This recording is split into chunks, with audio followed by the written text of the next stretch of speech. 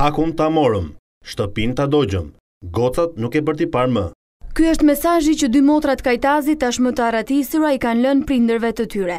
Letra është lënë mbi tavolinë pak çaste para se të rejat të zhdukeshin. Ky është mesazhi mbi të cilin policia po heton në lidhje me zbardhjen e kësaj ngjarje.